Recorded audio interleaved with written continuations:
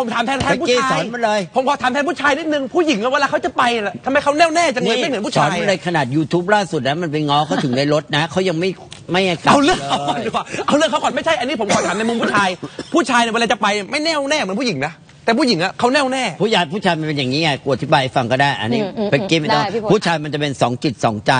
มันก็คิดว่าผู้หญิงแอบรักอยู่อืมคิดเข้าข้างตัวเอง ผู้ชายอืมเวลาไปทำอะไรผิดเนี่ยจะไม่ค่อยไม่ค่อยนึกถึงว่า นึกใจหัวอกผู้หญิงอืมแต่พอทำไปแล้วเนี่ยเพิ่งมานึกได้ ทั้งทั้งที่เราอะยังรักเขาอยู่อืมเหมือนกรณีมึงไปเที่ยวตีสามกลับมา แล้วเขารอรอมึงจนแบบว่า ไม่เปล่าแล้วนะนิกกี้อืมเลิกกัน ตอนนั้นนะมึงเพิ่งสำนึกได้ว่าลุงนี้กูไม่ไปเที่ยวดีกว่าลุงนี้อ่ากูไม่ดีทำดีกว่าอ่า ผู้หญิงเขาแบบเด็ดเดี่ยวไงคือ เลิกแล้วเลิกเลย มันมันแสดงว่ามันแรงเหรอพี่มันมัแรนงมันเก็บไว้เยอะไงอะก็กูไม่ถ้าใช่เป็กกี้นะเป็กกี้ตอบหน่อยนะ ไม่ คืออะไรปะคะ คืออย่างนี้ผู้หญิงเนี่ยบอกผู้หญิงนะผู้หญิงส่วนใหญ่นะผู้หญิงทั่วไปผู้หญิงส่วนใหญ่ทั่วไปเนี่ยเขาก็จะ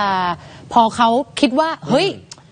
มันไปด้วยกันไม่ได้แล้วครับเขาถึงได้พูดอ๋อเขาถึงได้ออกมาว่าเฮ้ยเขาไม่โอเค ในเมื่อเขาตัดสินใจแล้วอืมเขาจะไม่ย้อนกลับคืนไปละแล้วครับพี่เองก็เป็นหนึ่งในนั้น ตัดสินใจนานไหมพี่เบ๊กเรื่องนี้ นานนะอ๋อเหรอนานนะอืมผู้หญิงเขาจะทนจนถึงที่สุดอืมอย่าให้เขาถึงจุดนั้น ในฐานะที่กูก็เป็นผู้หญิงเหมือนกัน นี่เห็นไหมล่ะโอ้ยเห็นไหมล่ะ ใช่ไหม คุณพจน์นะในฐานะลูกผู้หญิงเหมือนกัน ใช่เพราะฉันก็ทนทนทนทนจนสุดท้าย อืม เลิกแล้วไม่เอาเลยทั่วมา